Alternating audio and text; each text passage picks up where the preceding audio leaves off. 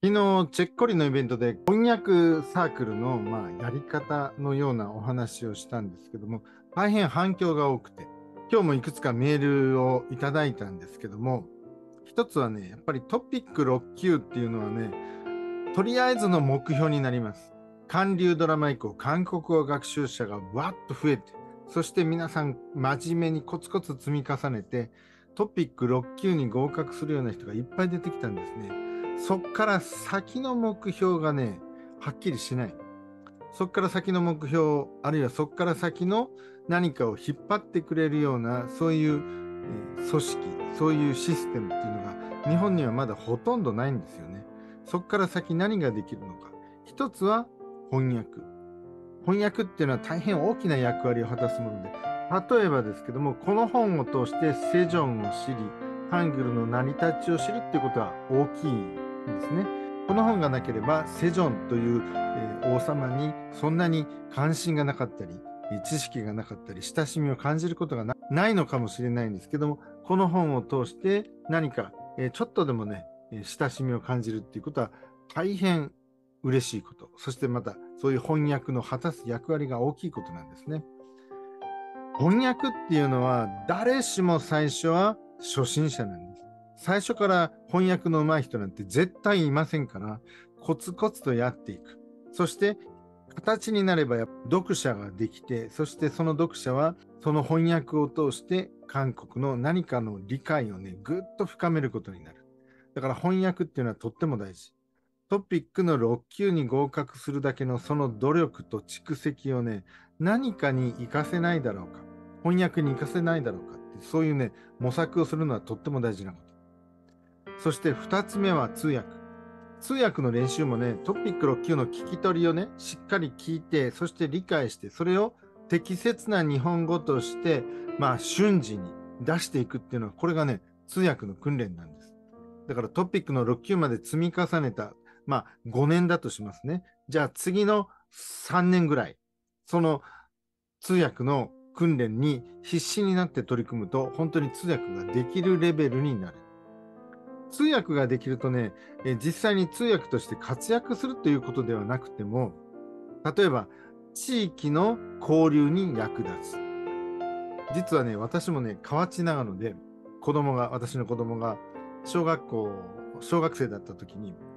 サッカーのチームに入ってたんですね。で、韓国の田舎のチームとね、交流するんですよ。で、国際交流。で、うちのチームが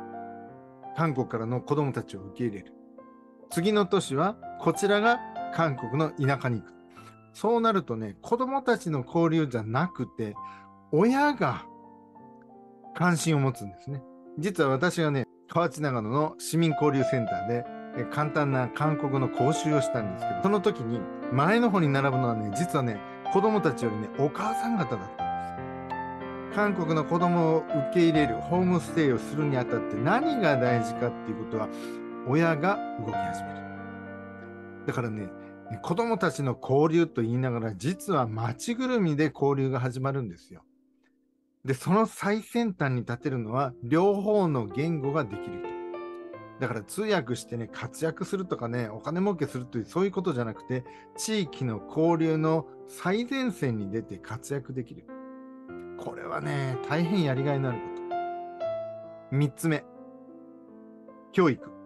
これもね、今オンラインで韓国を教えるサイトがたくさん立ち上がってます。えー、そして YouTube で無料で韓国の何かをやってる人がいっぱいいるんですけども、実は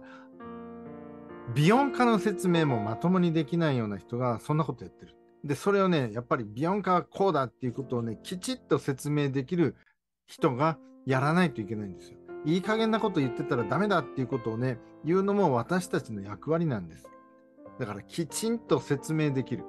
音声についても、えー、文法についてもきちんとできる力のある人が YouTube などで韓国語教育の正しい知識、正しい訓練法、正しい教育をしっかりとこう発信していく。それもまたやりがいのあることです。トピック6級から先の目標を皆さん持って、そしてその人たちが本気で動き始めた時に日本と韓国の交流が一歩推進できます。トピック6級に合格して、また来年ももう一回受けるとか、えー、その延長線上のハングル検定を受ける。それはそれでもちろん結構なことです。熱心で、えー、素晴らしいことなんですけど、そっから先の目標を持った時に日本と韓国の文化交流が一歩進む。日本人は大変真面目な人が多いんですから、きちっとね、積み重ねて5年、10年、えー、トピック6級レベルのことはしっかりとわかる。えー、そんな人がね、ものすごい層になってるんですよね。その人たちのその力をどうやって生かしていくのか。その人たちが本気になって何か通訳、翻訳、あるいは教育に関わり始めたら、えー、日本と韓国の交流はね、もう今よりもね、一歩も二歩も三歩もね、ぐっと進んでいくんですよ。それはね、民間の力なんです。民間の国際交流を推進していく力がね、ぐっとついていく。そういうことを皆さん夢見て、そして翻訳の訓練をしていく。通訳の勉強していく。そして教えるためのトレーニングをしていく。そういう世界にぜひ一緒に踏み出して、そして力をつけていきましょう。そうすることによってね、日本の韓国語学習者群のレベルがぐっと上がって、ただ単なる韓国語学習ではない、韓国文化の理解とかね、えー、韓国人との交流もね、本気の交流が始まるんですよ。えー、本当に韓国語ができる人として、韓国人と心の交流をし始める。えー、そのためには、韓国語をしっかりと学んでいる皆さんの次のステップが必要です。一緒に韓国の翻訳の勉強、そして通訳の勉強、そして教育の勉強、一緒にしていきませんか？